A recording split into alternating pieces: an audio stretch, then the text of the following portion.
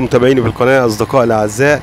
طبعا عشان الناس اللي كانت بتسألنا على السلاج وطريقة عمل السلاج فكرة بسيطة جدا وسهلة. أنا هنا في المزرعة مزرعة الجاموس المحسن وراثيا غرب غرب المنيا. المزرعة المحببة لقلبي طبعا أنا بحبها جدا وبعشق المكان ديت. مزرعة ناجحة بكل المقاييس بالناس اللي فيها ناس تعبانة وناس فعلا عاملة مجهود جبار. إحنا النهارده بدأنا إن شاء الله في الموسم الجديد موسم تخزين السلاج. هنحكي لكم إزاي بنخزن السلاج وإزاي بنكمره وإزاي ال- ال- الميل المعمول ده بيصفي لأي آه، زوائد الحياة المادة ال- السوائل اللي بتطلع من السلاج بتمشي في مجاري كده وتوصل لحد البياره فإحنا معانا ال- الأستاذ سعد عبد الدايم مشرف محطة غرب المنيا هيحكي لنا عن قصة السلاج وعندنا ثلاث هناكر هنا نشوف كل هنجر بيشيل كام وبنخزن كل كل سنة قد إيه عشان يكفينا السنة كلها. طبعا المزرعة دي مزرعة حلاب وفيها عشار وفيها تسمين فهيحكي لنا على كل ال- القصة ديت بالنسبة للسلاج من الألف للياء. السلام عليكم. سلامة الله وبركاته. يا الله يخليك يا دكتور. يا أهلا بيك. نورتنا وشرفتنا. طبعا على الجهد ال- ال- ال- الكبير ده. الله يخليك يا دكتور. أنا سعيد النهارده عشان أول ظهور ليا في قناة أخويا وحبيبي دكتور مجدي. زي ما الدكتور مجدي اتفضل مشكور واتكلم. إحنا بنعمل النهارده بدينا في موسم سلاج 22 22 2023 إحنا بنعمل خزين يقضي سنة. يعني بداية السلاج من البداية خالص إزاي تختار السلاج الصح؟ بيبقى فيه لجنة مشكلة من هنا من اداره المحطة بيروح يشوف الذرة. الذرة اللي اتعمل سلاج لازم تكون معدية مرحلة الشوي. اللي إحنا بالبلدي نقول عليها الطول العجيني يعني تكون معدية مرحلة الشوي. بتبدأ يشتغلوا فيها وبيجينا هنا. عندنا هنا ثلاث بناكر الثلاث بناكر سعتهم 7500 طن. البنكر يشيل من من 2 و 2 طن و200 لحد 2 طن آه، بتاع 2500 طن. ده سعه البنكر زي ما أنتم شايفين كده بالظبط. بنبدأ ننزل ويدك السلاج دكة كويس أهم شيء في السلاج في التخزين بتاعه الدك الكويس عشان المية.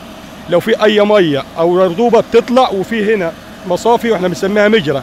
بعد ما نخلص بتتفحت وأي دور أي مية.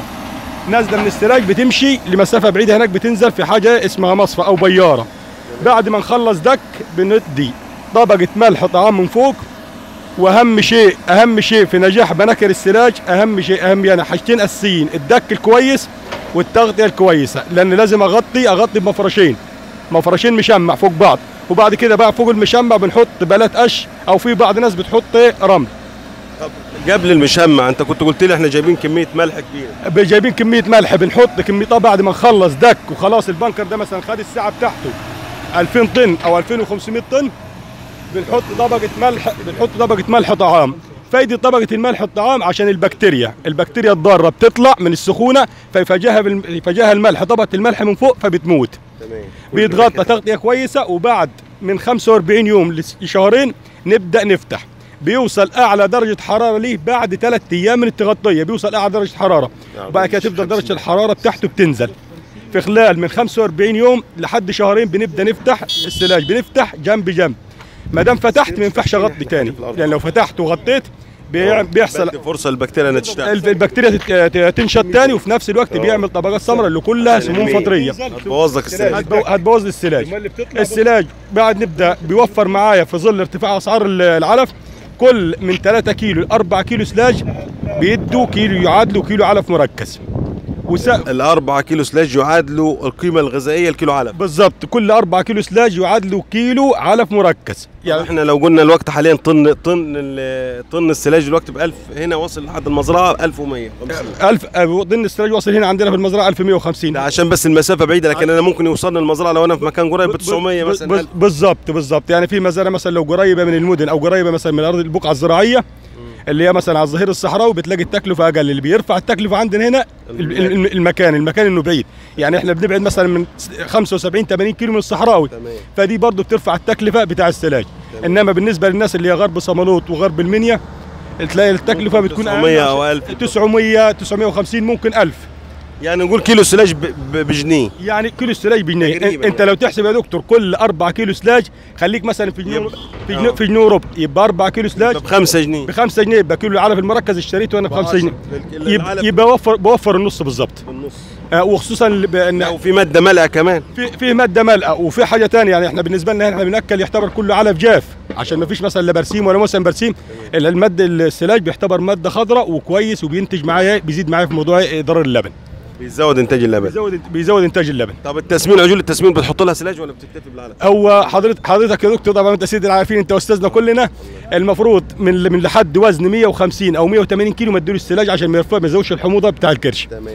من وزن 350 كيلو لح- لحد البيع. بنرفع السلاج وبندخل مكانه دريس حجازي وندخل تبن مع العلف المركز لحد لحد البيع. الله ينور عليك. برضه العشار ما بتديش كتير برضه لا الشر ما بديش كتير لأن الشر بدي مثلا إيه كيلو كيلو ونص علف اللي عليها الحافظة ونسبة بسيطة عشان بال- حتى في عندنا في الفلاحين يقول لك العشر ما تشبعهاش تمام. إحنا تركيزنا كله على التسمين وعلى الحاجة اللي بتنتج اضرار اللبن.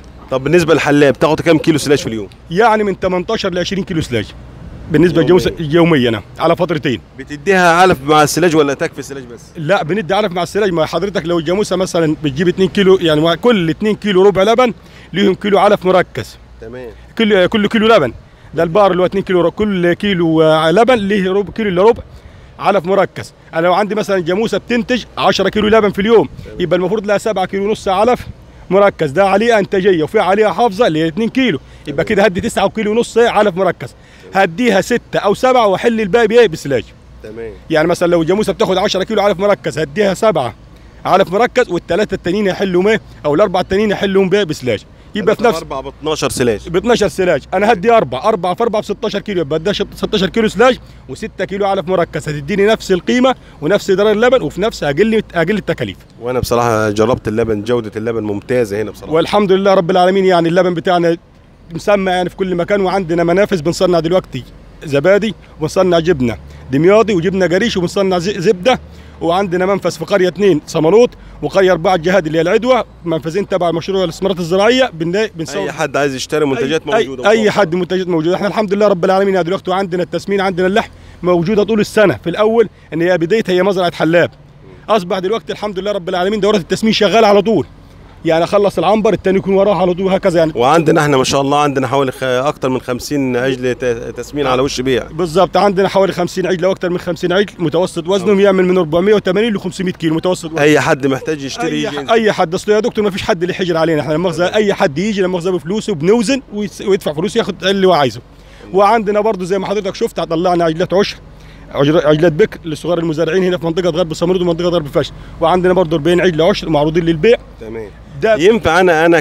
كراجل فلاح عايز عايز عايز شبتين أو ثلاثة عشر ممكن تدوم لي ولا لازم موضوع ال- الروتين الحكومي الورق والمزادات ده ولا إيه؟ لا هو كان توجيهات المهندس مصطفى الصياد اللي هو نائب الوزير للثروة الحيوانية كان بيقول لك إحنا عايزين يعني ننشر السلالات دي في المناطق لصغار المزارعين إحنا بفضل الله يعني عندنا عجلات راحت سيوة وعندنا عجلات وجه راحت وجه بحري وعندنا طلعنا في شهر خمسة لمنطقة غرب صمالوط ومنطقة غرب الفش يعني ما فيش تعقيدات دلوقتي واللي. عايز يشتري يشتري لا لا ما. فيش تعقيدات وكل حاجة عايز حتتين. عايز ثلاثة كل حاجة ميسرة وكل حاجة سهلة. يعني الحمد لله رب العالمين إحنا معانا إدارة حكيمة.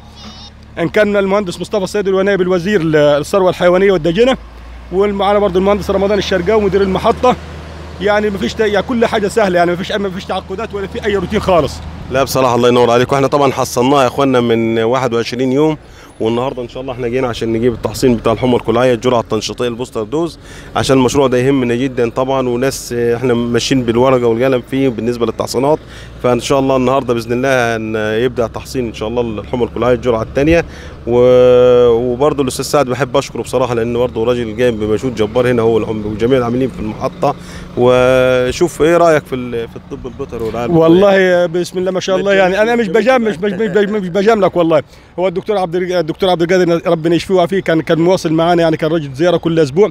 ودلوقتي الدكتور مجدي بنفسه اللي هو مدير الاداره البيطريه في صمالوط كل أسبوع معانا هنا. وفي حاجة ثانية شغال فيها مشروع الاستثمارات الزراعية اللي بنجيب ناس من صغار المزارعين والناس اللي واخدة قروض مشروع الاستثمارات الزراعية بياخدوا دورات تدريبية على يد الدكتور مجدي دورات تدريبية عن التغذية. دكتورات على كيفية رعاية الحيوان من الولادة لحد البيع. يعني شغالين كل أسبوع بيجينا مثلا إيه، كل أسبوع دفعتين يعني مثلا من جميع المحافظات. من جميع المحافظات يعني جاتنا ناس من أسوان تبع المشروع ناس بتيجي تاخذ دورة تدريبية نظري وعملي.